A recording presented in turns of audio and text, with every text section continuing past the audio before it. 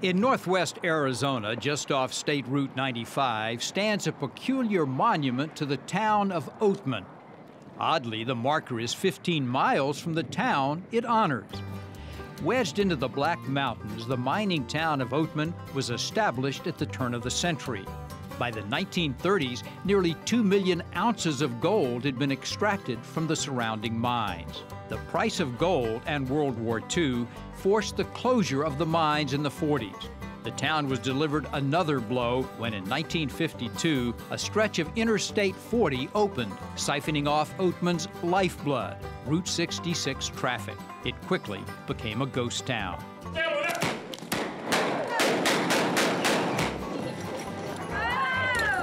Route 66 is again its lifeblood. Nostalgia for the Mother Road and the Old West draw tourists from all over the world. They walk the boardwalks, hang with the local gunfighters, and are followed around by Oatman's most famous residents, the Burros, descendants of those set free by miners years ago. Being closer to Nevada than the town itself, Oatman's misplaced monument is long forgotten, but the town is remembered daily.